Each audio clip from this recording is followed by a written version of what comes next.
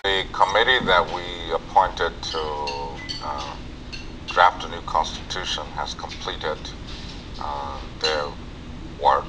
We received a preliminary document about uh, four weeks ago, but we asked them to do further modifications. And so last week we received a document which um, we are going to be reviewing at the executive committee level, and from there we will forward it to the board of directors, you know, for their input. Uh, after which it's going to come to the community for review, discussion, and then a referendum.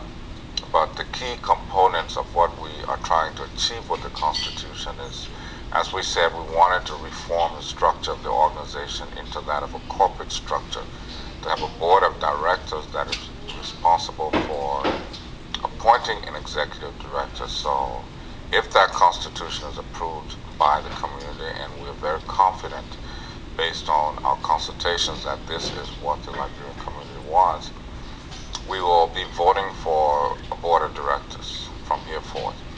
And that board of directors will be responsible for uh, appointing an executive director. So we're not going to have this election for president anymore.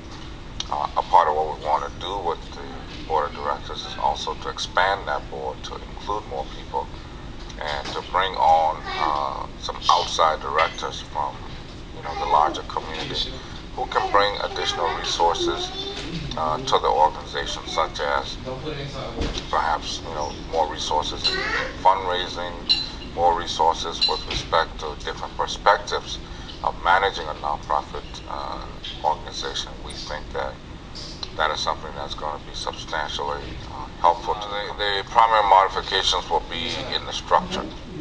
Uh, that instead of having a president and vice president and a board of directors that are all elected separately, we won't have elections for president anymore. We'll have elections for board of directors. Uh, we also want to institutionalize some provisions uh, to ensure that uh, the finances of the organization are maintained in a streamlined fashion. For example, that elections commission will not be allowed in the future to collect money.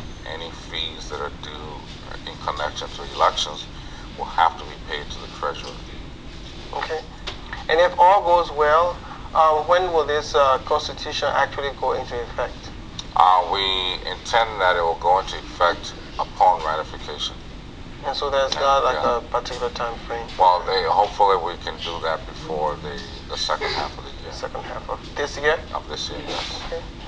And so um, there are very, there are different issues within the Constitution. Is there a part of the Constitution that, uh, besides the structure, besides the um, the board, are there any other particular references that you know we want to talk about tonight? Well, the, the, document is still under review on the executive committee level. The board is going to have its input. The community will have their input. So uh, we just received it. We haven't had the time to go through it thoroughly and digest it in terms of where we think we ought to be making input. Uh, and so it's kind of premature to be discussing that. But that's something we'll look forward to doing in the next